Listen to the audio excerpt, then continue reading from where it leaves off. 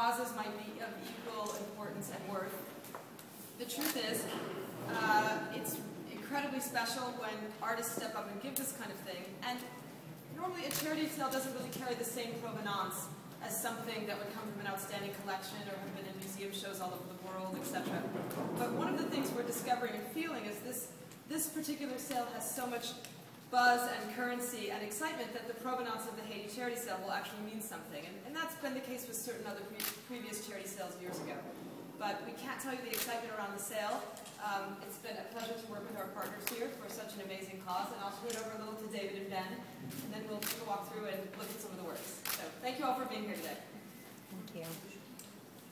Um, yeah, no, uh, thanks for coming. Um, we're really excited about uh, what's come together here and the, uh, the level of work uh, that uh, the